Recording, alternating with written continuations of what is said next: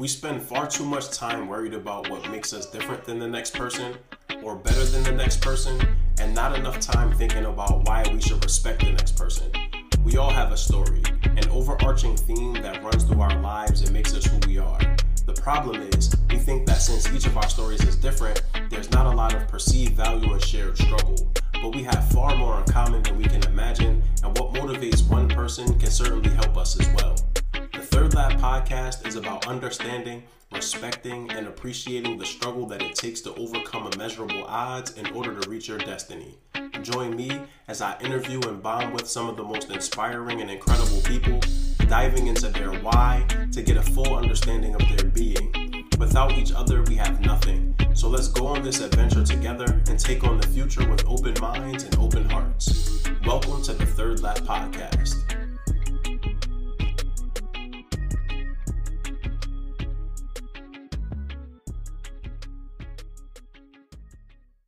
Hi, everybody. Once again, welcome to the Third Lap Podcast. This is episode 10 of the Third Lap Podcast. In this episode, I'm so excited because I get a chance to talk to somebody that served as like a mentor to me um, and really helped me get my start in education, which anyone that knows me is what I do now. I'm in education. This person has really just played such a pivotal, integral role in my ability to be where I am right now. And so today I have the wonderful opportunity to reconnect with Laura Burgos, who is a cross sectoral change architect, a mother, just an all around dope person. Really looking forward to being able to dive into her story today. Laura, what's going on? How's everything? Life is good. I can't, you know, I, I can't complain, you know, in spite of everything going on, you know, um, I have my, have my health, I have a healthy son. Um, and I'm every day gripping my gratitude is what I say, because there's so much, uh, such a sense of loss being experienced um, you know, within our communities, within our Black and Brown communities, especially. And um, so every day I just have to hold on to, um, you know, to to the love that that is here. Absolutely, I love that gripping your gratitude, um, and that is such an important thing to do. That's something that I do constantly. I got a chance to see your son before we started. He's looking happy. He's looking healthy. You were showing me you have him eating quinoa for breakfast already. So you know he he's already on the right track, which is awesome. And you know, like I said, I mean, I'm so happy to get a chance to just dive into this and really get to explore who you are. And you know, even though I feel like I know you pretty well, get a chance today to learn more about you. And so, Laura, I gave you a brief introduction, but I would love if you just, you know, took 60 seconds just to talk to the people a little bit about who you are. Sure. Such such a you know deep question, and I answer it without titles, right? You know, I I'm a I'm a learner first and foremost. You know, I'm a lover of life my you know my close friends call me a, a memory maker because I'm, I'm always trying to do uh, what's new what's next um, in service of others. So you know always trying to expose others to experiences always trying to bring people into my experiences. So if i learn it you know i want to i want you to learn it too. I, I want to show you what what i know. So trying to find a, a yes a tomorrow that was that that's better than yesterday. So always trying to um, you know, improve myself, uh, take on uh, uh, new challenges, stretch myself. So I am, you know, an educator of, of 20 years, which sounds uh, uh, crazy. You know, I still feel like I have that youthful glow, but um, believe it or not, I started teaching in 2001. Uh, District 19, New York City Public Schools, East New York, Brooklyn, home of the brave.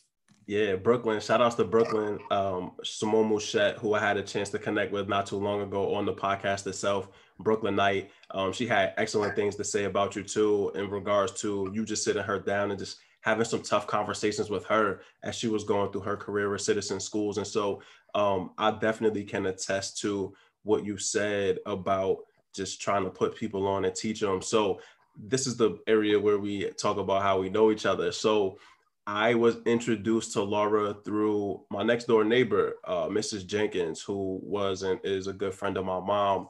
And so Mrs. Jenkins said, Hey, I have a, we were moving to New York, had just sold our house in Jersey. She was uh, talking about that she knew somebody that, you know, could potentially help me get a job. I was working at Whole Foods at the time doing deliveries and just really unhappy because I wanted to get into education.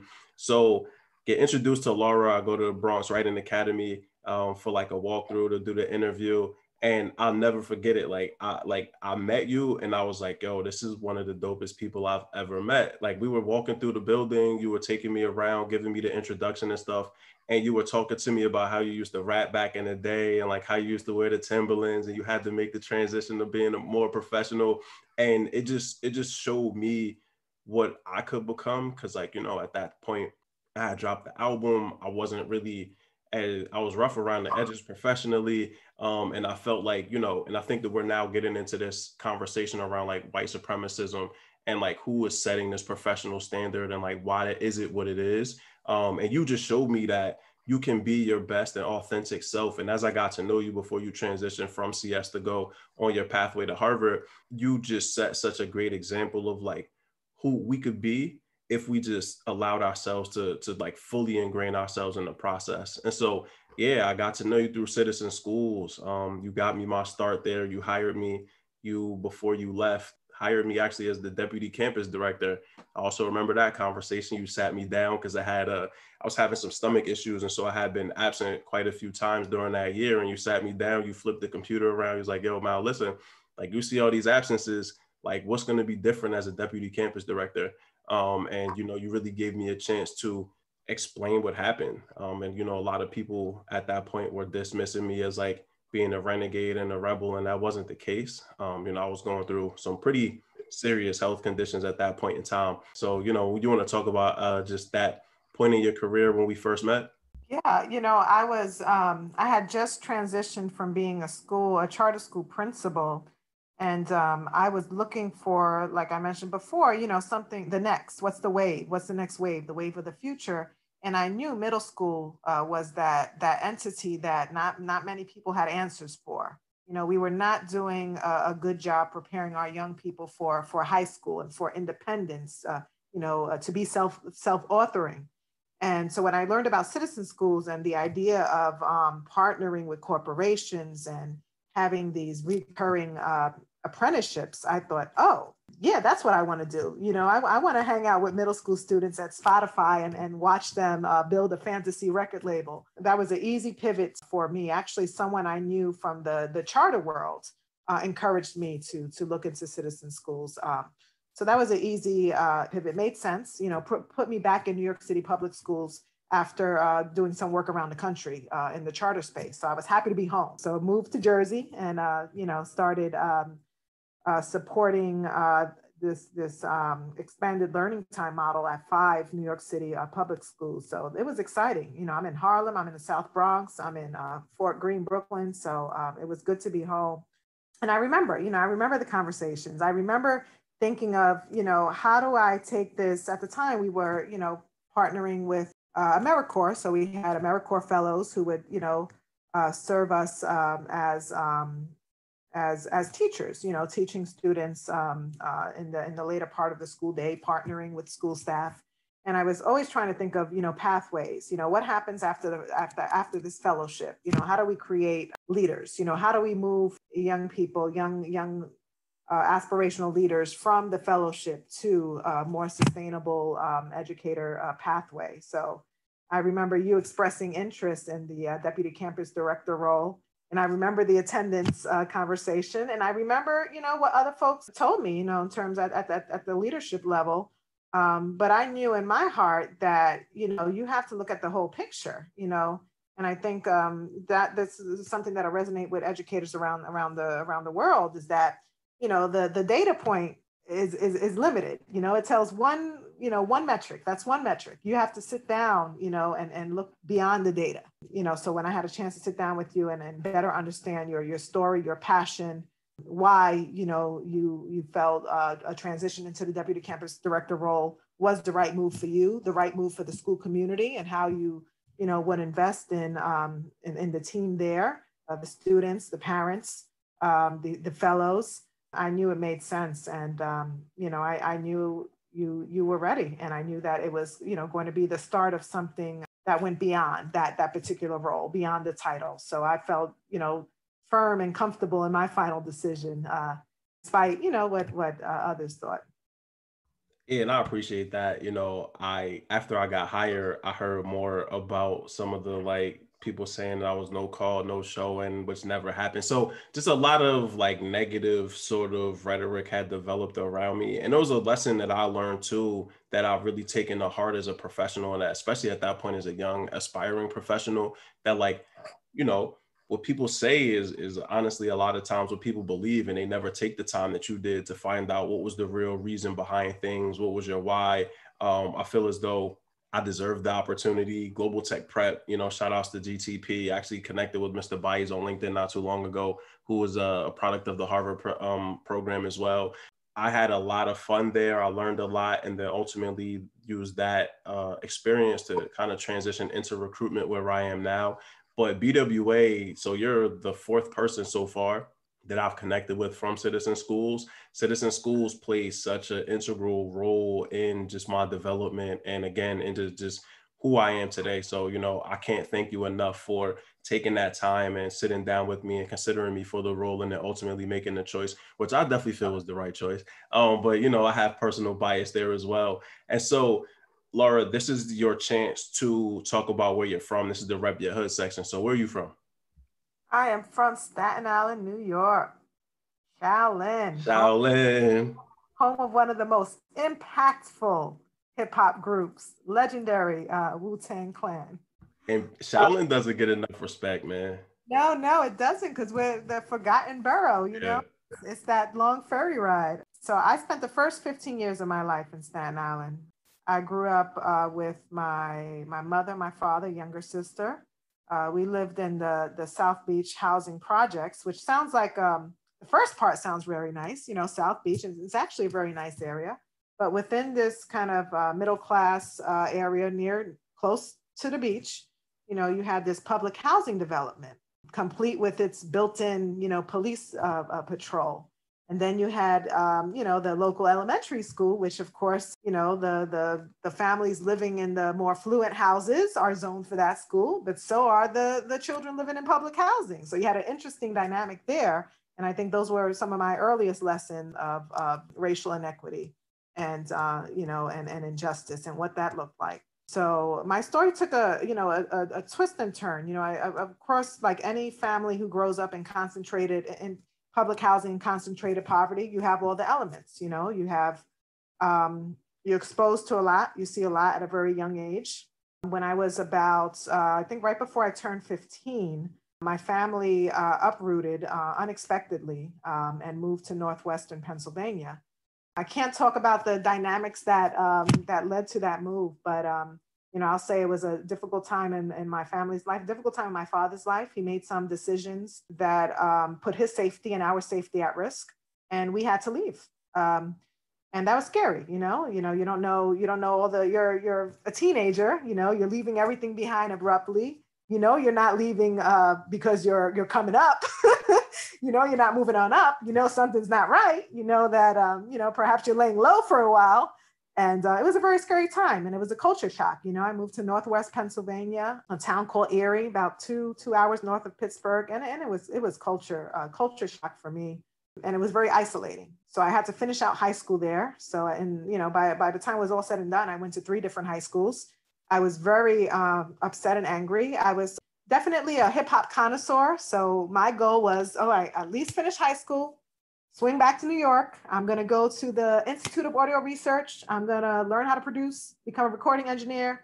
And this, you know, all these bars I've been scribbling on napkins and on the back of uh, restaurant receipts are, you know, I'm going to take off. You know, that was the plan. That was the plan until the summer before senior year. Summer before senior year, everything changed. I couldn't even see it coming. I had no intention of going to college. I was always a student in the honors class. School was fairly easy. I never had to, you know, to put a lot of effort in. But again, when you go into the, the schools of failure, of course, everything is, is easy because not much is demanded of you. So um, the summer before uh, my senior year, um, everything changed. Uh, board, a local uh, board member was looking for students to be a part of this uh, summer program, uh, which involved a one, a one week stay at a local university, Edinboro University. And um, she was looking for students, uh, Black and Latino students who had a certain GPA, and she flagged me you know, I was one of those students, good GPA, but flying under the radar. You know, no one was tapping me for the AP courses. No one was tapping me for everything that I was entitled to. so she tapped me and said, you know, I want you to be part of this program. And I'm like, mm, nah, I'm not going to college. You know, I got this, you know, rap career that's about to take off as soon as I get home. No thanks. She wasn't hearing it. She was like, uh, let me give you a ride home. You know, let me, I, I if I remember correctly, I, I feel like she, I know she showed up at my house one day, but she wasn't letting it go. And um, I, I think I got tired of telling her no. And I think I was also curious that, you know, this, this woman, this community member, this community activist, was putting so much effort into getting me to go to this one week overnight college stay. I said, all right, fine, fine. You know, the, the bus is leaving, you know, Saturday morning that from downtown. Fine, I'll meet you there. I'm not going to like it. You know, I'm not going to have fun. It's, it's going to be a waste of my time, but I'm going to go anyway. And I went and I loved it. I mean, they were they were very intentional in having students who look like us, who came from where we came from, meet us there, you know, who were current students uh, the name of the program was called um, the Metropolitan Erie Intervention Program, MEIP. Um, I'm sure it's dissolved by now, but it was in partnership with the, um, uh, the AKA sorority. Um, so I know they, I believe they had something to do with it as well. And um, there I was uh, over the summer, spending a week at a university. I never even, I don't even think I had set, set foot, you know, on, on universities uh, before, before that moment and I loved it. I love I love the autonomy. I love what I was learning about uh, charting your own course, uh, choosing your own classes. I love the dialogue, the the teamwork. We did a lot of team building activities, and that was probably one of the first times you know I really had structured team building activities uh, led by women of color. You know, with students of color. I mean, it was it was um, yes. When I came home, total mindset shift. I hit my senior year and I, I, I remember going to the guidance counselor's office and saying, look, I want to go to college. Um, I know the stuff I, I, I was supposed to do. I know there's a test called the SAT. There's one called the ACT. I'm going to take all of them. Just, just tell me what I need to do. I'm going to take all of them. and it happened. You know, I started applying. I got the first school I got accepted to was NYU School of Social Work because I wanted to study social work. So I get accepted to NYU finish high school. I go back to new york. I'm excited. I'm about to be a college student you know. My my my parents didn't have the opportunity to to uh, go to college. You know i was i was like yes. And then i show up for orientation at nyu and i felt like a fish out of water. I just felt like I, I looked at the bill. By that time i had my my first semester bill and i'm like no i started doing the math i'm like i'm gonna have to borrow like gosh, before it's all said and done, over a hundred, hundred fifty thousand. Like, no, no, no. That maybe this is not for me. This is not me. This is for someone else. This is for them. Uh, I remember sitting through the orientation. I, I was lost. I didn't even know the, the questions I should be asking. I, I was intimidated. I was overwhelmed. You know, like like many of our young people. And you feel that it's not for you. This is not the this is not the place for me. I'm not feeling welcomed here. So um, I, I didn't I didn't move forward. I was living in Brooklyn, living at my aunt's house and the fall semester came and went. And she's looking at me like, okay, you're not going to school, you're not working. I was trying to find a job, but you know, I'm 18 years old. You know, uh, this is New York City. I, I went to some like you know shady job trainings, like come come let us train you to show to, to, to sell designer and imposter perfume on Fulton Street, you know. So it was it was a it was a rough time because I, I couldn't I didn't know what to do. So I started to apply uh, to CUNY schools like Lehman College, um, I was just trying to fish for something like, okay, where else can I go where that that is maybe more on my level? Maybe NYU is, is not for me. And time started passing, you know, October, November, and my aunt's like, you, you know, you have to do something. If you're not going to do something, you know, we we have expectations in this house, and I didn't want to hear that. So um, I had no place to go. So I went back to uh, Pennsylvania, and um, I did the unthinkable. I went back to my high school. I went to see that my guidance counselor. I said, so last year you were talking about Penn State and um, you know this special program for Latino students, and um, you know I, I, wasn't paying attention then, but um, I'm all ears now. it's like things just lined up. They were still seeking students to start in the spring semester. Um, it was a direct line to being on main campus, so I didn't have to go to an auxiliary uh, campus. That was that. You know, filled out the application, did what I had to do, and this is a, a time when you know I didn't get to visit the campus. I'm doing all this like by phone, by paper, maybe. And I hopped on the Greyhound bus. I showed up to meet, you know, a, a program coordinator who let me sleep on her couch before the dorms open. I'm in a, you know, the middle of Pennsylvania. I don't even know who to look for, where I'm going. And I just took the risk. And and you know what? It, I never looked back. I, I never looked back. And it's a story I always tell my niece and nephew who are teenagers, like, you know, um, my, my, my freedom, you know, my educational freedom, my financial freedom, um, you know, that started um, me on that path, on that pathway. So I studied telecommunications. I DJ'd. I had a radio show called Tight Tuesdays, Tight Tuesdays with the Mic Mistress, Tuesday nights, 9 to 11. I had some really cool drops from a lot of artists like um, Xzibit, um, gosh, Dougie Fresh, Busta. So, you know, it, it, it was a good time. We, um, it, it, was a great time, you know, but uh, uh being a, at a Big Ten university. And then when I graduated, you know, like many of us who graduate with our bachelors, we have the piece of paper, but we don't have the social capital, we don't have the social network to navigate entry into, you know, into our career fields. And I'm sending out like tapes of my shows, trying to break into the the, the broadcasting industry, and right. I know what I was doing. You know, I couldn't find my lane. So then um, I started thinking about uh, teaching and the reason why teaching became um, an interest is because at the time, um, my sister, who was in high school, was had just given uh, birth to my niece, and I was helping out with childcare, and I was also working part time at the YMCA. And part of my responsibility was to pick up students from school, bring them back to the center, and do um, uh, you know ed- education related uh, activities with them. So that sparked my interest. And that's what led me to applying uh, for the New York City Teaching Fellows. And this was something that was supposed to be, um, you know, short term. It was a curiosity. I did not think I would um, fall in love with the idea of educating young people and young leaders to this degree, where I'm still kind of 20 years later, uh, you know, in, in this sector. You're listening to the Third Lap podcast with Mal Davis. And that's an awesome segue to the next portion here which is really talking about like how your career started um first though i want to like take a couple steps back shout outs to shaolin again people you know coming from jersey so I didn't even realize Staten Island was a borough because nobody reps it. You know, everybody was like, "Nah, Staten Island is Jersey, man. Like they don't even New Yorkers don't even rep Staten Island." So, shouts out to the to the uh to Shaolin. Wu Tang Clan is one of my favorite groups, Method Man and uh, Raekwon, two of my favorite independent artists. So I'm always repping Shaolin.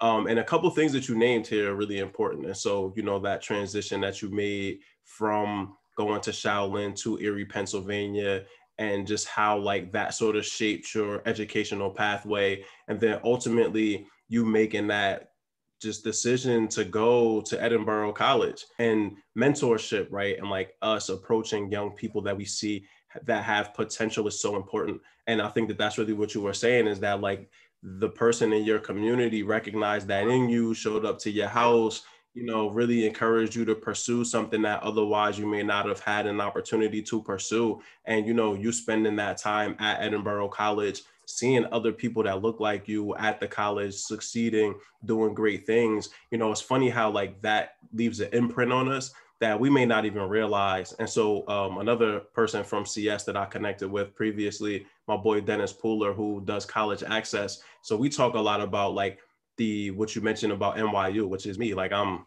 so steep into student loan debt right now because I didn't make a great choice about where I went for my undergraduate degree.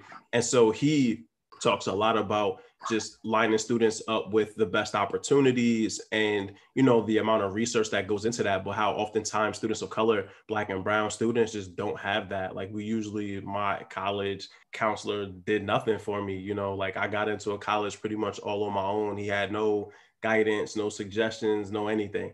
And so you know i'm glad that you were able to find your pathway but it was it was a, a, rigorous one for you though you know? You had to go through a lot to get to where you were. And so this is the third lap podcast. This is mal davis talking to laura burgos just all over all around amazing person. That's also cool that you got a chance The dj had the drops from you know some of the more influential artists at that time in the game. And so you know like i said this is really the place where I want to sort of launch starting to talk about your career. So you said that you went in, applied for the New York City Teaching Fellows. So yeah, tell us about the beginning of your careers, your humble beginnings. How did you start?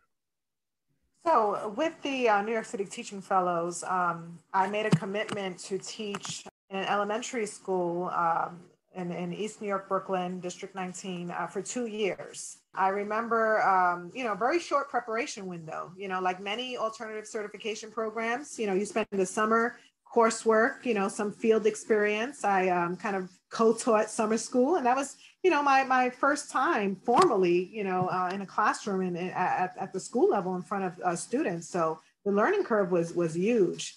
You know, you come into a community that you feel familiar with, that you feel connected to.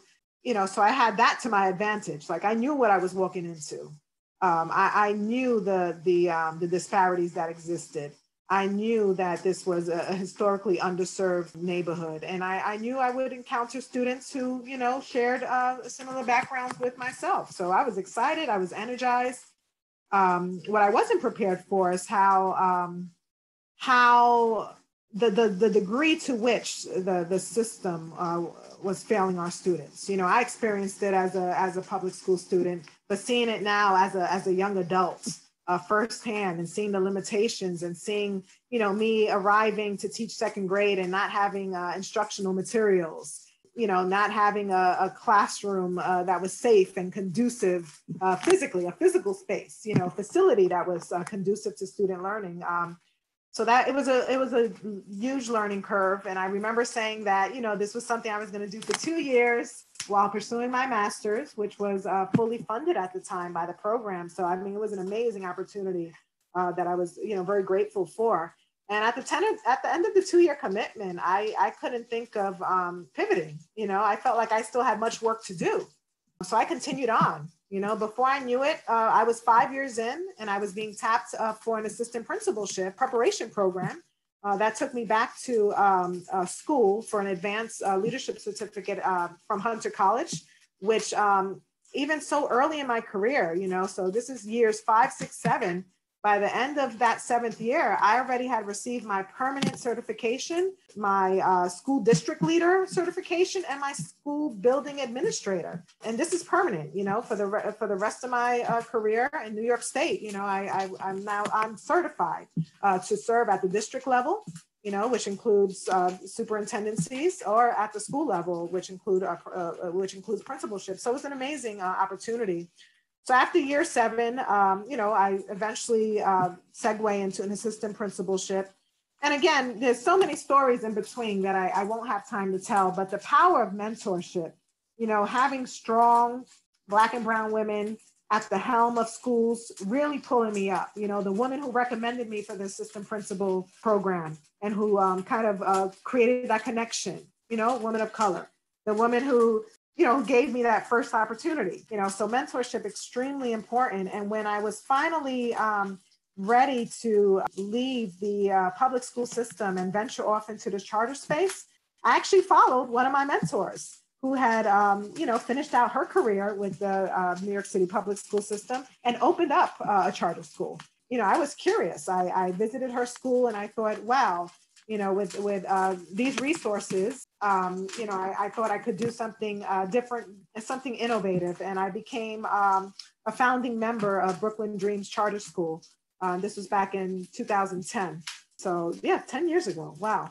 And from there, you know, so I was uh, an instructional dean at the time founding a school from scratch, setting up the, um, setting up, building your culture, building your school community, an amazing experience. To this day, rem- uh, remains uh, probably the most rewarding experience and the most challenging experience of, of my career thus far. Because I was part of a national uh, CMO, a charter management organization that was actually based in uh, Michigan, that led to opportunities outside of New York.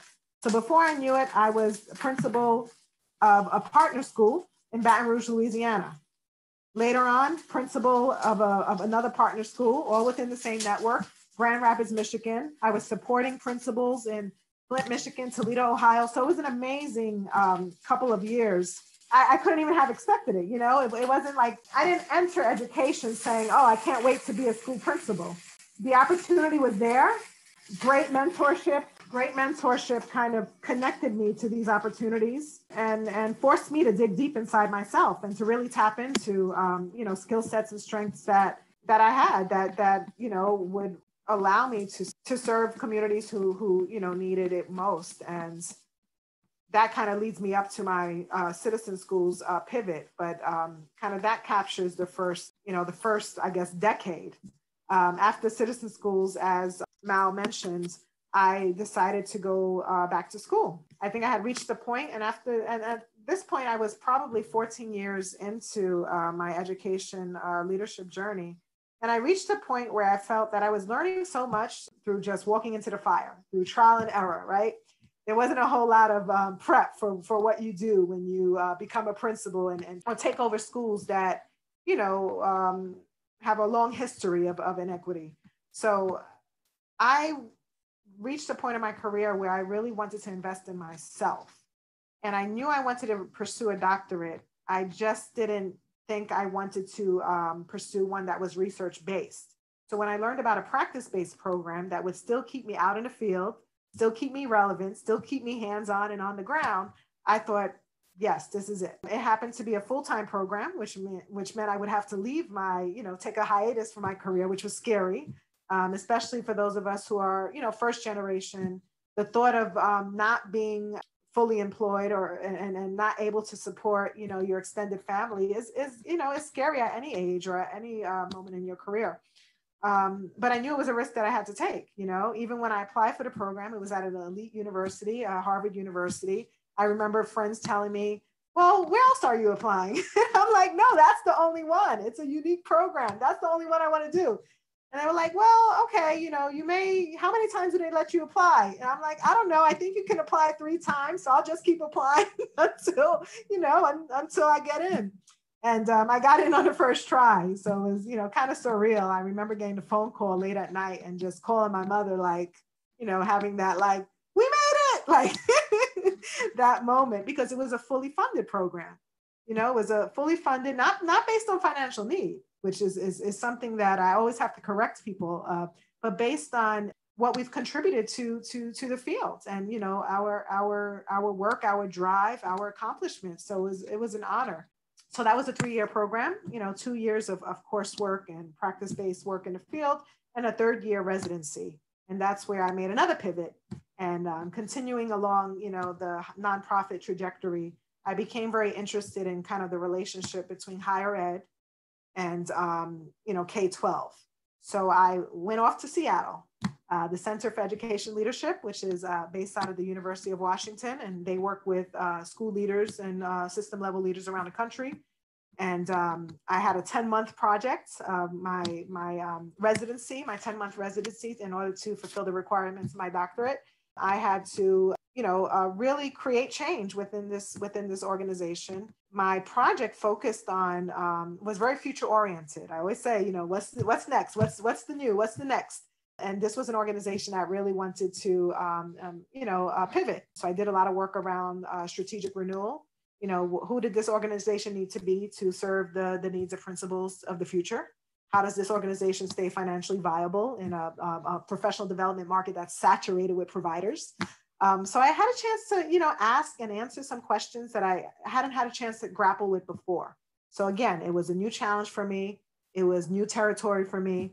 It was an amazing experience that led to me um, after graduation doing some work at the University of Virginia along the same lines, but more um, on the ground with school systems. So I worked with six school districts across the country, East Coast, West Coast, uh, everywhere in between, on um, implementing change management plans, you know, 90 day action plans uh, from the principals level and then connecting that to uh, district level action plans.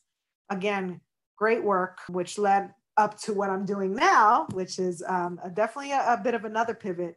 After so many years in, in the K 12 education space, I wanted to really think more strategically around collective impact and cross sector partnerships. So, you know, I dabbled into the world of higher ed, nonprofit, K 12, those relationships. But what about the business community? What about the, um, you know, the ph- philanthropic community? So, when I started um, learning about um, an organization called Venture Philanthropy Partners uh, based in DC, and about their work uh, to um, supporting cross sector initiatives focused on uh, improving education and health outcomes uh, within underserved communities, I thought, yes, this is this this makes sense. This makes sense because um, now I'm thinking more broadly about how to affect change. Um, so that is where I am now. Um, this is, I think, I'm a year and a half into uh, my role as director within the uh, investment practice group. and we could talk a little bit about that. But that's kind of the long version of um, my many pivots. Um, and I always say, you know, it, it's a journey, and I've learned to enjoy the journey. Everyone always asks, especially when you receive your doctorate, Dr. Burgos, what, what do you want to be in five years? Or, you know, what, what, what title do you want to, um, to uh, achieve? And I am less concerned with that. I think it's more about, you know, legacy. What problem am I trying to solve? What problem do I not know that exists yet that I, I may want to better understand so that I could position myself in a way to uh, create change? So I think I'm at a point now where it's less about the title, it's less about the prestige, and it's more about the uh, the work and the people. I love that. And like you're like legitimately like a traveling change maker, which is dope. Like you've you've touched on like every state, you know, all the different types of ways that you could have worked in education. And then you touched on like the last part with venture philanthropy partners, which is okay, what's like the cross sectoral look like? Like what does it look like to engage with multiple people across sectors to like actualize these changes? And you know, before we started recording and hopped on the podcast, we talked a little bit about how like the underlying theme for this is around legacy and you know just about everyone that's got on the podcast has talked about legacy and you know for me my legacy is at the forefront of my mind around everything that i do and you know when i look at what I want to do next. And I'm looking at, you know, what potentially could be the next phase of my career. It's a lot about what you mentioned, which is like, what is, what are the problems that are happening now? What are some of the things that, because as people of color, we have historical issues that have ha- been going on for centuries that we need to address. But then we still have things that are prevalent and that will continue to like change and evolve that we need to learn how to you know address as well in the future and so i love the fact that you know you identify these things coming from a, a, teaching fellow and shout outs to all of the new york city teaching fellows shout outs to everybody in the alternate route certification program learning on the fly um, you have a lot of folks that i work with that are in relay and penn out here in philadelphia um, you know i was in relay in new york for a short time and so everybody that's just adapting to a new environment, teaching and getting your degree at the same time is very, very difficult. Um, I think that that doesn't get talked about enough. And so, shout outs to everybody going through that process, getting certified, you know, just actualizing change in the world. Um, we need to respect our teachers. We need to respect our educators. I think that that's something that gets swept under the rug very often. And this pandemic changed a lot of people's minds that they had to stay home with their children and they had to see their kids. The same parents that were like, "Not my kid," are like, wow, maybe my kid was doing some of that stuff in class. Um, because you now have to sit there and watch them on Zoom. And so shout outs to all the students too, you know, going through this pandemic, having to be virtual.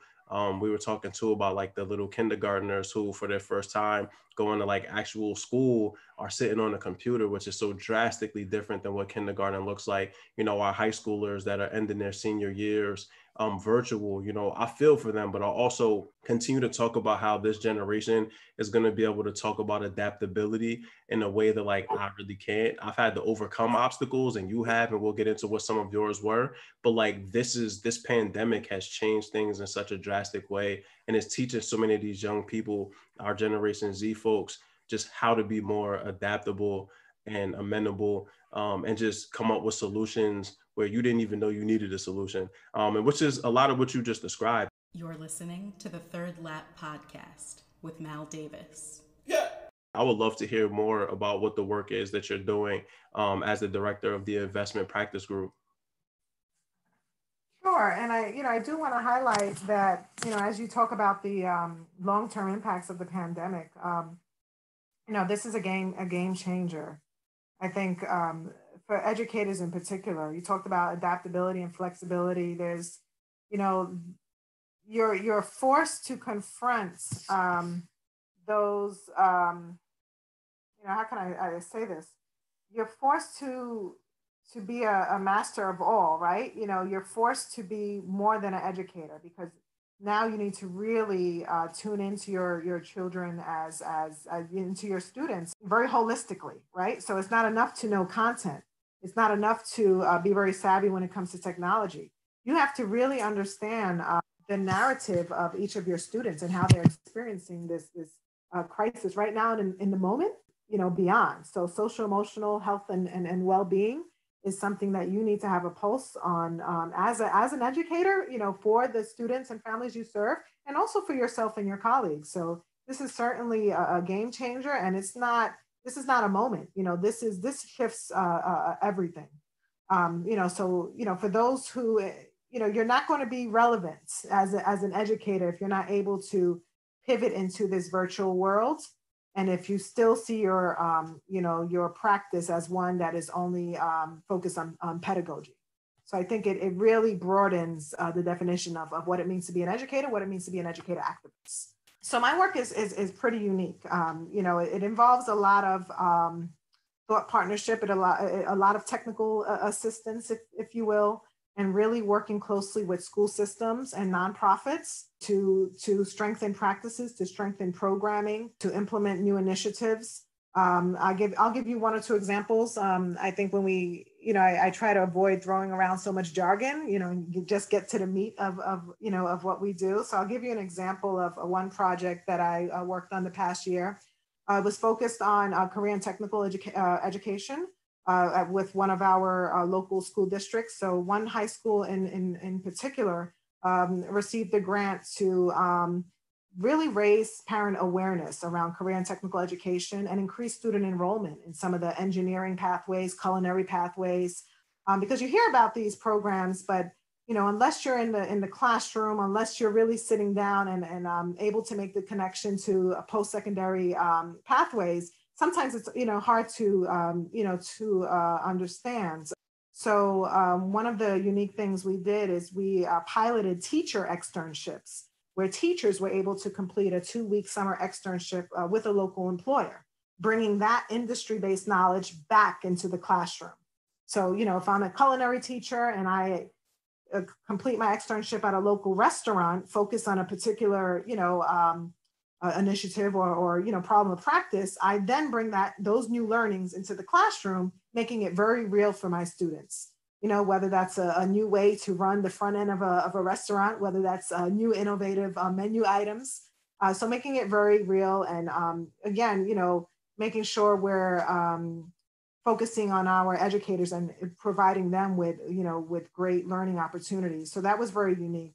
And along with that we wanted to um, recreate uh, both uh, the Top Chef and Shark Tank, you know, television series uh, at the school level. So we wanted our, you know, um, entrepreneurial students to, um, you know, pitch a, a particular um, project, an entrepreneurial endeavor that will solve a particular problem. And we wanted our culinary students to, you know, to create a, a, a recipe. And we wanted to, you know, bring those um, notable competitions to life and have students compete, compete for scholarships. So when um, school transitioned this spring to being remotely, we didn't want to let that go. We wanted to still keep it, you know, um, keep it authentic and actually transferred it to a virtual environment. So uh, both competitions took place virtually. Students were um, able to compete, were able to, you know, upload their projects, record videos, um, and we still had a panelist, you know, a panel of, of judges able to um, uh, identify winners. So again, making those connections, promoting community awareness, because now we're engaging families and, um, you know, observing what this means to be a, you know, a, a student uh, pursuing an engineering pathway. What does the work look like? Um, you know, and then what, what, where do I go post high school? So um, that's some of the exciting work I, I get to do. Uh, still hands-on, um, still uh, working with amazing educators and leaders, um, you know, all over the uh, uh, DMV area. And I love it. And what you said about bringing, it's like you sort of flip what the citizen schools model was, as opposed to immersing the students in it, like taking the teacher and giving them that real life practice and like real world experience so that they can bring it back to the students, which is immensely valuable. And, you know, I love how you challenge the students to come up with really creative ideas and concepts you grounded it in something practical, which is like scholarship money, right? so the opportunity to pursue these things. And what I love more than anything is that there are so many different people like yourself and like the the company that you work for that are invested in like really bringing these opportunities to our students um you know when i was in school a lot of the talk was like you go to college. People weren't talking about culinary arts as much. You know, we had shop, but like that was just an elective course that we could take if you wanted to learn how to you know, change oil. You weren't really talking about being a mechanic. Whereas now, you know, and KIPP, shout out again to our KIPP through college and career office, where like they're having tangible conversations with candidates that want to get in, or students, I should say, that want to get into fashion or want to become mechanics. And like we're not shaming or stigmatizing them or saying like, no, you gotta go to college. It's like, listen, it's about like we said already legacy. It's about what do you love to do? And then how can you align yourself to do it in a purposeful manner to be able to take care of yourself and your family down the road? And so i love that you know you are using your all of your collective amazing experiences to now kind of channel it into this um, because you seem very well suited for this role for sure. And so this is mal davis connecting with laura burgos for the third lap podcast. And so laura we talked about how you got started we talked about you know your pathway to where you are currently. We've talked about your current opportunity like your current job. But i would love to just take a step back here for a moment and just talk about some of like the difficulties you know you you mentioned having to walk away from citizen schools and in order to pursue your doctorate at Harvard, which meant that like you had to take a step away from working full time. And I remember before you left, we had a conversation about that, and you were just being honest, like you know, this would be the first time that I haven't worked full time in a really long time, and so you know, even though you had your apprehension about it, you still made that leap, which was ultimately so important for you to get to where you are currently but I would love to hear about like, you know, what were some of the difficulties or some of those sort of like quote unquote mid-career crises that you had to overcome to even get to where you are today? Um, great question. Um, transitioning into, um, you know, taking a, a, a, career pause and, and pursuing my doctorate, I, I refer to it as a, a bit of a studious leisure, right? Because I, I mean, it was amazing. I had a chance to be a full-time student again. I had a, a chance on focusing on to, to focus on learning and uh, acquiring new knowledge you know. I um for for the time being i wasn't worried about you know managing a team. Um, it was a time to really put myself first. And i think as um, you know as educators as leaders we have to keep our own tanks full. You know uh, we if we're expecting to keep those around us energized we have to continue growing and, um, you know, throughout my career, I found myself in many spaces where, you know, the, there were ceilings, right? There's only so much growth you can do. Um, there was only so much investment being made in you. And, and you, you often have to, you have to learn how to advocate, you know, for yourself and, and seize opportunities and, um, you know, be unapologetic about it and, and make it very clear what, what you need to be successful and pursue what you need to be successful and I knew, you know, that this was, um, you know, this was a program that would, um, that would strengthen me, you know, strengthen my uh, expertise, uh, connect me, you know, to other amazing leaders and open up, you know, doors and opportunities uh, for me moving forward. So, you know, it, it, it was scary, you know, you're stepping into the unknown. You don't know. I always wondered about my, you know, staying relevant. You know, if I leave the sector for two or three years, you know do i lose my edge? Am i going to be able to bounce back and still be that you know fiery uh, assistant principal who kept the cafeteria you know in order?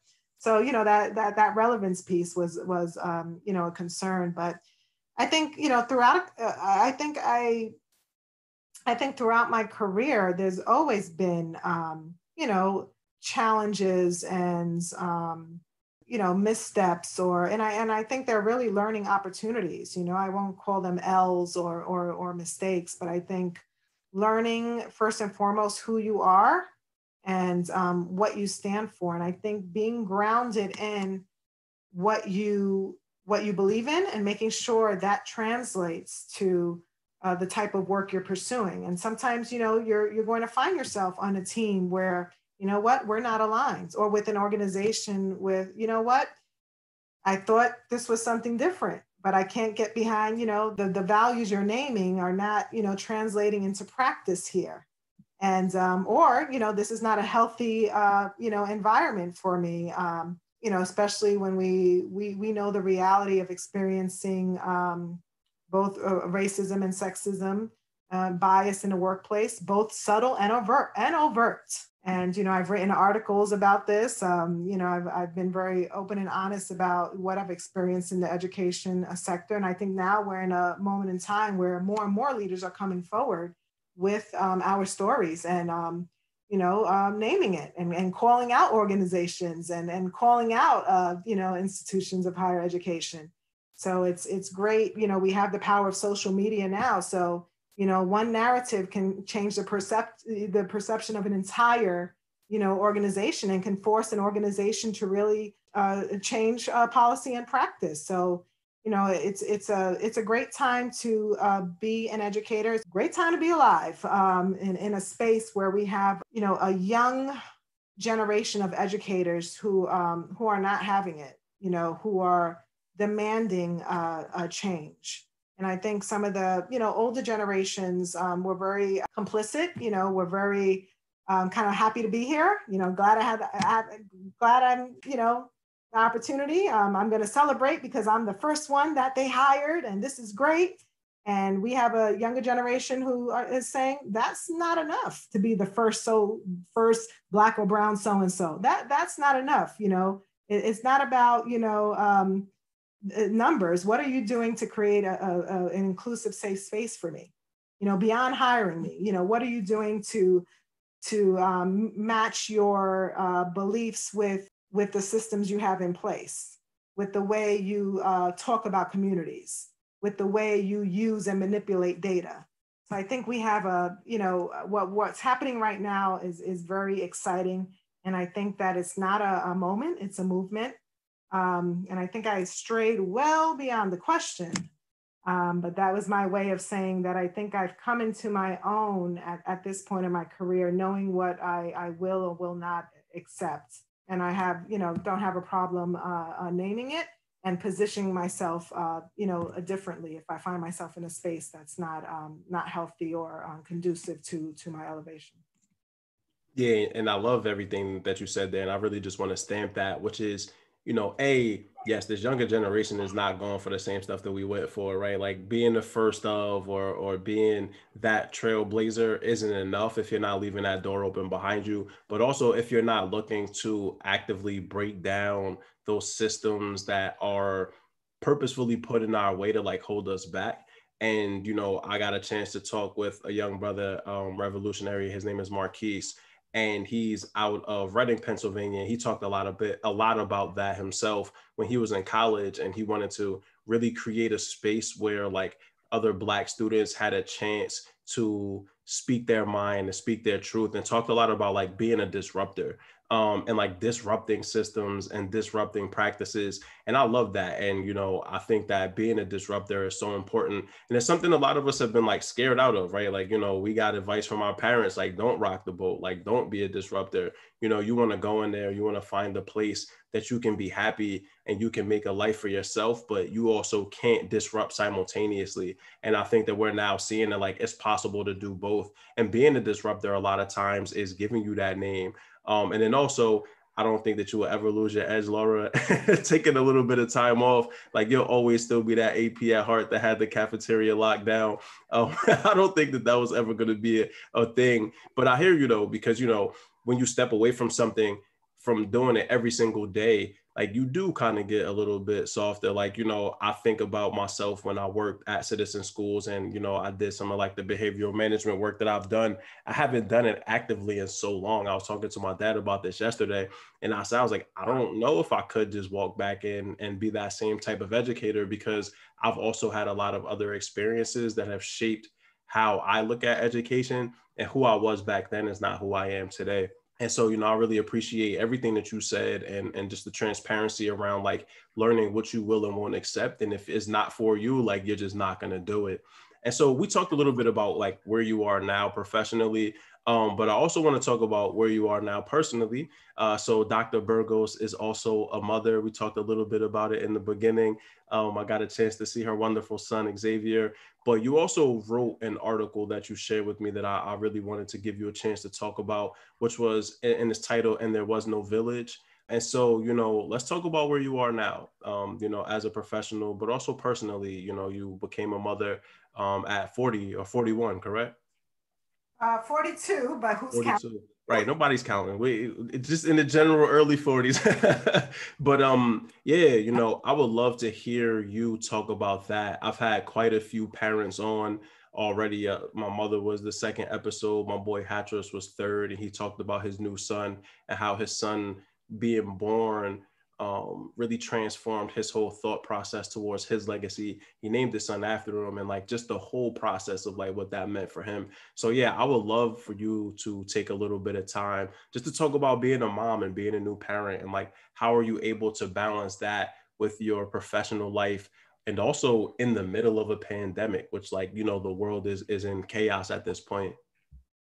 Yeah, I mean it's it's a beautiful struggle. I, I never expected uh, or anticipated uh, I'd be I'd become a mother. So it's um it's still a bit unreal. You know, I'm still settling into the title and the role, and just hearing it roll off the tip of my tongue. I have, I have a son now. I have, I have a son. I'm I'm raising, I'm raising a, a, a young boy to be a man in, in, in this world, in, in a in a world that is um, you know, going in, in a country that is is known for its uh, violence against uh, young brown boys. I'm, I'm raising this young man and, and the weight of that, you know, the responsibility, you know, it's, it's going to be the, the, the greatest leadership challenge of, of my, of my life. Um, you know, no one, I, I couldn't have predicted that I'd be given birth um, in, in April when everything was really um, blowing up, imploding. And um, for those of you who, you know, are interested in reading the article, it's called, and and there and there was no village. And i uh, uh, published it through the the Xylom the website the Xylom uh, x-y-l-o-m and I, I did it because i felt that you know i not enough not enough um, parents or, or women you know were coming forward with with stories. I, I wasn't hearing enough narratives. And i don't think a lot of people were thinking about or asking questions about what it meant to um, to bring a child into the, the world during a pandemic. And i I really wanted um, to tell the story because it was, you know, it was a challenge. You know, I was in the hospital five days, um, and no one wants to be in a hospital that long during a pandemic. You know, my son um, had low blood sugar, so he was kept in an ICU for several days. Communication, you know, wasn't uh, always always great. We know how um, we know about uh, the rate of um, mortality for Black and Brown women, for Black and Brown mothers so you know all those thoughts um, you know were going on in my head. Um, you know every every time i ended up spending one extra night in in you know in the hospital. I thought it was a very unique story to be told. You know you mentioned about the balance between um, you know career and motherhood. You know right now i'm doing both. I don't know how how i'm doing it but i'm working full-time from home mothering full-time um, as is his father. It's um, a, a delicate game of, of tag team you know um, and it's it's not you know i don't feel it's sustainable you know right now it's it's there are no good options. We have the privilege and i'm going to say it is a privilege to be able to work from home that many people do not have. And i think so many people think that everyone has this luxury and and absolutely not. There are entire communities especially our black and brown communities who are waking up and going to work every day to keep this country alive. Make no mistake i have the privilege of being in a in a, in a role where i can work from home um, and it's and it's difficult you know i'm you know to to have my son see me sitting in front of a, a, screen for quite a bit of the day or to you know try to squeeze in story time and tummy time in between my meetings or to move meetings around so you know i could align with his nap time or you know his schedule's thrown off because i have x number of consecutive meetings. So there's a there's definitely a lot of guilt and it has forced me to come with you know to a to ask myself some tough questions. Is is is this sustainable? You know do i do i want to do i want to put him in childcare at this moment in time? Do i want to take a step back from from my career? And um, you know stay home with him until um, until we see a, a glimmer of light or until things you know seem to be a little bit more defined.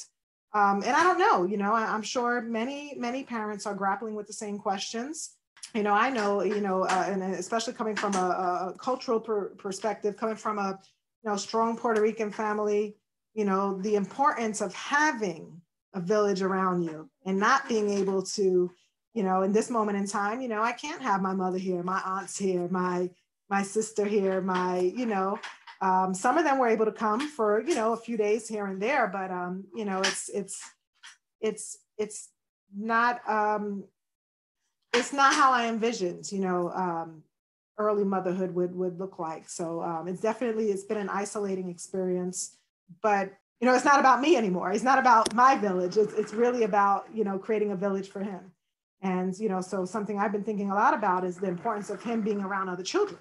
You know, it's not like I'm opening up my doors to play dates. You know, there's too much too much risk with that.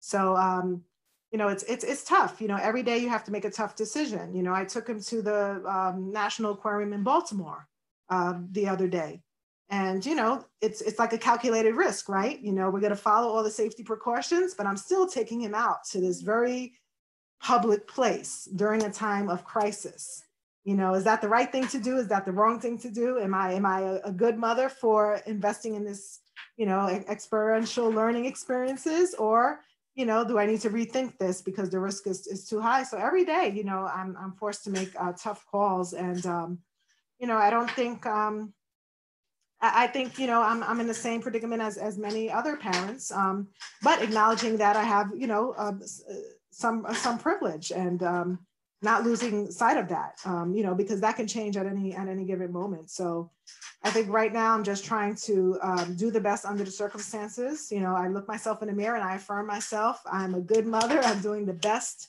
under the circumstances. And um, we're going to, you know, we're going to be okay. We come from a strong uh, lineage of, of, of, fighters, of, of survivors, and um, we're going to be okay. Absolutely. And so I, uh, I highlighted part of the article that you wrote that I just want to read here quickly because like this really stood out to me and was just so incredible. And so you wrote, there was no baby shower. The village was toxic. My aunt who lived in lower Manhattan died within two weeks of being diagnosed with the virus. We said our farewells to her via Zoom days before my son was born. My village was disappearing.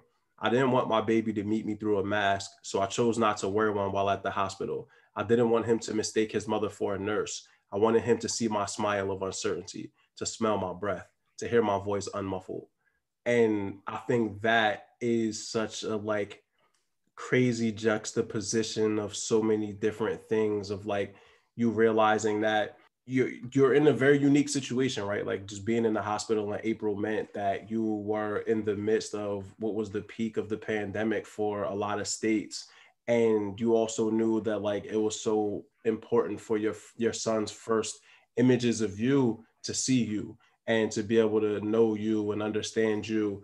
And so, talk to us a little bit about that, though. You know, like what went into that choice ultimately of like, listen, doctors may be telling me to do a mask, nurses may be telling me to do a mask, but you made a very conscientious choice there. Um, talk to us a little bit about that. You know, it wasn't, um, gosh, I, I don't think a whole lot of thought went into it. You know, there were times when I, I did grab one to go visit the, the NICU, you know, being being conscious of others and, and being around others. But when it came to being, you know, I, I had very short periods of time with him, you know, because I'm recovering myself and I wasn't able to spend the night with him. His father was with him at night. And I knew, you know, when I'm looking at him face to face, I wanted him to see see me for, you know, so I would pull it down or or just not, you know, not wear it to begin with. And I think it was so important for me to have that immediate connection because we were in such a, a time of great uncertainty. You know, you don't know how the story is going to play out. You don't know how long you're able to keep yourself safe and um, I didn't want to waste, you know, a, a, moment. So I think in my mind, the rationale was um, this is this is me, and and us connecting and bonding immediately without filters was was more important than um, the the protocol at the time. I, I don't know how you know how else to explain it, but the love and joy and warmth, you know, would have been hindered, you know, by by wearing one. And I decided that, you know, when I was with him, I, I wasn't going to I wasn't going to do it. You also talked about like the just danger of being like a black or brown woman having a baby. Um, and that's something that my wife and I have talked a lot about. And we've decided potentially to go like the adoption route, but still reading in 2020 the number of like just the mortality rate and just you know what the dangers are of women that don't have like a black um, doula or you know black nurses doctors like when they're not dealing with like a predominantly if not all black or brown staff that like the chances of something going wrong jump up extremely high. Um, and so shout outs to all of the women out here having babies just in general. Shout outs to my mom who had me in 1985 when we didn't have any of the technology and or things like that and she had to have a c-section because i was a gigantic baby. Um, and so you know I also wanted to touch on something that you mentioned before we started recording, which was around the postpartum and something that I've heard from a lot of women, which is the like depression component. And I think that it's important to name and, you know, we don't ever really get a chance to hear that part. I think a lot of and, and why you mentioned writing the articles because you felt like this voice or like this wasn't really getting lifted up in a very productive way. Um, and so talk to us a little bit about that piece too. Just how have you worked your way through that? Um, because postpartum is such a real thing. And I've had friends of mine that whose wives or partners have had babies and they've been trying to figure out like, you know, how do you help them navigate that and like you want to be there but sometimes you just don't know what to do so i would love to hear that from your perspective um, great question and you know such a sensitive uh, topic um, i think it's hard to talk about because in our communities you know we're not always um, comfortable to talk about mental health to begin with. So you know becoming a mother and um, you know admitting that it's it's more than the the beauty of bringing life into the world. There's there's a there's a darker side you know there's a there's a it, it's not it's not easy. And and during a pandemic all of those um, emotions and feelings are only exacerbated and i think you know it's you want to focus on the celebration right the gifts the the showers the you know the um, the bonding with the child but you don't want to talk about the um, you know, the feelings of, of, of uh, inadequacy, the feelings of loneliness, the feelings of, oh my goodness, this is a major life change. Um, for those of us who have careers, oh my goodness, does this change my career narrative now? You know, will I still be able to to uh, position myself here and climb the ranks? You know, uh, my own sense of identity as an individual. You know, I'm an introvert. I love my alone time. I love my solo travel. This is a game changer. You know, I, I it's so complicated and um, it's hard to talk through. But I know as soon as I came home from the hospital, it, it hit me hard. Like, uh, and and being so isolated, right? I knew it wasn't safe to welcome anyone into my home, to have anyone around the baby. So you're being protective, and with that comes a huge responsibility I have to now be extra cautious because it's not just about my safety. It's not just about sanitizing, you know, my hands and wearing my mask and quarantining myself. I now need to make sure that I follow very strict precautions with him. And in doing so, you know, there are limitations to what I can expose him to. You know, he can't be around a, a group of kids. Um, so, you know, it's, it's, it was very tough to um, you know ad- admit right? And it's very tough to ask for help especially you know so much of um, you know my my identity as and for many of us uh, for many of us women of color you know we we have to keep that facade up. Not I'm not saying it's a facade but we have to keep that um, i'm strong i got this i'm independent i'm i'm you know i i i'm fierce you know, I'm, I'm fierce, I'm unbreakable, I'm unstoppable. And we always, you know, we, we try to um, live up to, you know, to that, um, to that image. And so it's, it's very uh, risky to, to uh, come across as vulnerable or to say, look, I don't have this, I need help. Oh my goodness, I'm falling apart. Please someone come over and help me. I don't know what to do with this baby. um, because you you know you're expected to have it together, especially uh, you know when you're in, in my age group, right? so I think um, writing about it was very therapeutic, but it also I think provided um, some insight to to other women either experiencing the same or something similar. So I, I think it let other women know that you know you're not alone. And for me, you know, especially being that it was donated to the DC Public Library's um, Archive This Moment collection, it captures this moment in time for me. It's very personal, it's very raw, it's brutally honest. But I put it out there, and 30, 50 years from now, when someone looks back at this moment and says, "Oh, what was going on in um, in the DC area during the pandemic?" You know, I wonder how new mothers were faring. The narrative is there. At least you have, you know, this voice. I lent I lent voice to this moment for um, for us new first time um, mothers. That's beautiful. I love it. And also it'll be dope for Xavier to read it too, um, because he'll get a chance to just read over how he was born. And, you know, most of us only have pictures, but we never really get a chance to hear like the firsthand story from the mom herself. You're listening to the Third Lap Podcast with Mal Davis. Yeah.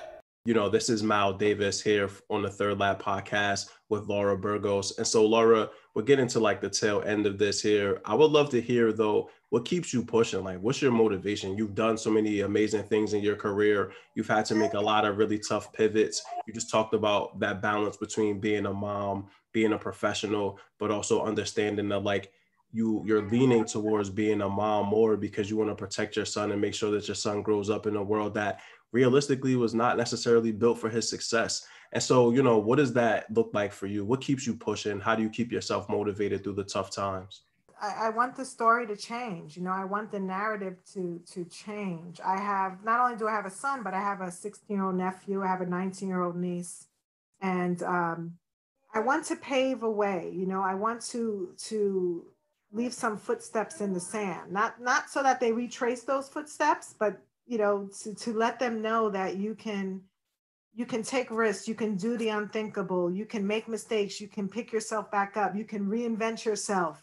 You could you know you could be who you want to be unapologetically. You can you know you can change you can evolve you can think differently you know tomorrow. You can um it's a it's a it's a beautiful struggle and I think what keeps me pushing is that I'm still not at the, you know, I'm nowhere near the, the peak yet, right? There's still something more for me to learn. There's still so much more for me to uh, accomplish. I haven't arrived yet.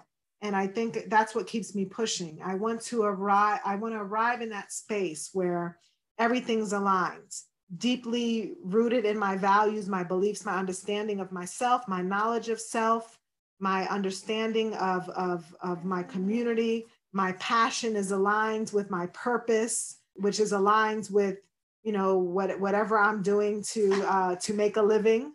I want all the cards to line up and I want to leave that blueprint for my niece, my nephew, my son, and um, everyone else who comes uh, after me.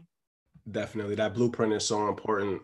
And so, Laura, um, if a person only hears three minutes of this show for whatever reason, they they just load, they just tune in at this point right now.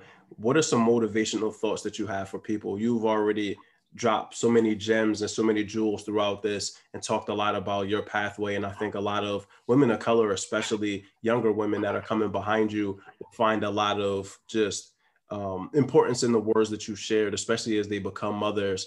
And so if they only caught three minutes of this, what would be your motivational thoughts for them? Nothing's as important as as time. Anything lost can be found again, whether it's a career, whether it's uh, uh, uh, the bag, whether it's a relationship, whether it's a friendship, whether it's a title, whether it's a material item. But time cannot be replaced. So make every moment count. Recognize that you can. Life is filled with sharp turns and there's always room to make a U turn.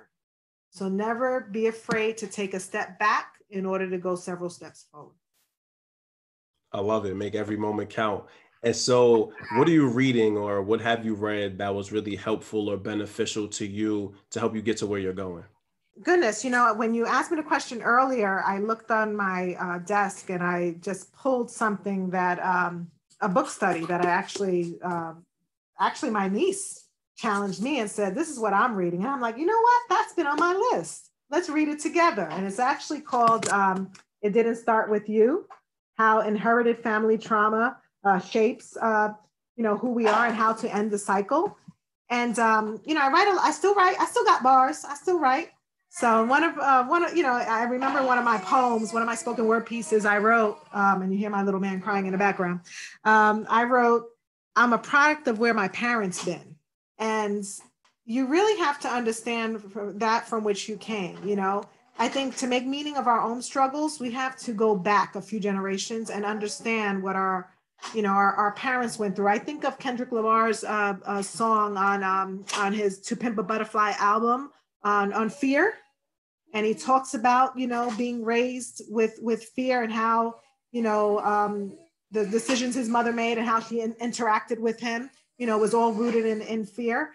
And um, I'm reading a book with my niece to better understand that that that connection. And I think it's impactful both in my personal and professional life because the way I raise my son, um, is going to influence who he becomes, the decisions he makes. And those, some of those decisions may be rooted in, in fears and um, trauma that I'm still uh, on unpacking.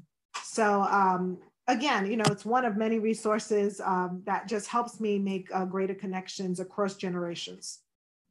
Absolutely. And one of the big themes here through all of these episodes has been around mental health and mental well being and just taking care of yourself. And I love that point around just the generational aspect, too, that, you know, we inherit what our parents went through, who inherited what their parents went through. And we are talking about people of color in this country, they went through a lot right? And so we're still trying to sift through and unpack a lot of situational things that may not have happened to us specifically, but we still end up carrying the burden of because it was kind of downloaded into us. And so that's an amazing book. I've actually never heard of it, but um, adding it to my Amazon list now as we speak so that I can get that shipped to me. Um, because before I become a parent, I want to make sure that I'm working through those things myself. And so we're here in the last couple of minutes. Um, Laura, where can people find you on social media? I am only, for the time being, I'm only on LinkedIn. Uh, to be honest, I reactivated my Facebook account only to join the moms groups. so I'm not friending anybody. Um, I haven't been on Twitter for a while, um, and I'm not on Instagram, and that may change. You know, I may have to, you know, uh, that may change. But right now I'm on LinkedIn, and that's, you know, where I'm most active on. Yep. And so you can find her at Laura Burgos on LinkedIn. And so, Laura, you know, I really just again want to thank you so much for taking time to speak with me today, taking time to just influence my career positively in the way that you have. I got a chance to meet your son today, got a chance to meet your partner. There he is right there. Look at his head. Yeah, what's up, little homie? I love that face, man. He, he's going to come out here and change the world. I can already tell. And so, again, you know, thank you so much, Laura, for everything. Thank you for just being amazing in every way possible um, and now getting the chance to see you be a mom is just so impactful. Um, and I know that like this challenge will be like every other challenge that you've had to overcome to this point. And so, any last words that you want to share with the people before we log off? Enjoy the journey. We get so fixated on where we want to be, who we want to be, where we want to land, where we want to end up. You know, getting getting to home plate. Just enjoy the journey. This is episode 10 of the Third Lap podcast each one teach one. We all learn together. Thank you for tuning into another episode of the Third Lap Podcast. This is your host, Mal Davis. Please visit thethirdlappodcast.com for more information about the podcast, about our guests, and also to see our reading list.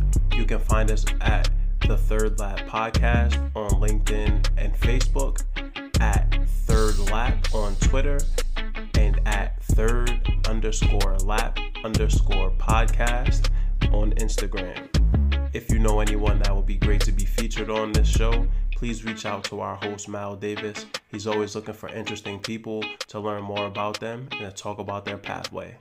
Thank you so much again. Have a good one.